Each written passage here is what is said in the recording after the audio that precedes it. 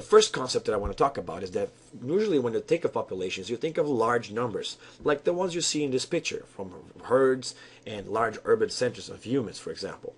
But populations don't have to be like this. Sometimes the populations will be sparse or spread out.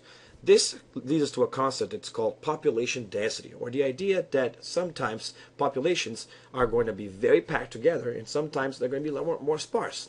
Look here, for example, at this graph of the human population around the Earth, showing you the density or how, how packed together people are living in certain areas.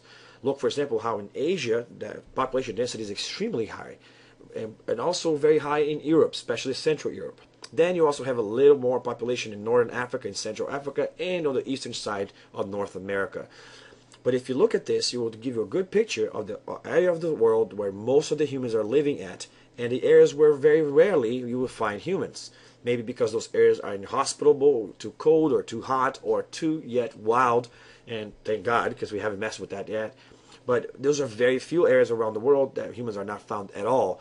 But still, there are very areas of the world where humans are very, very common. So urban centers are going to be what we have what we call large population densities. And places like the country or nature centers will have more sparse population densities. It will be harder for you to find people around. So that is an idea of density.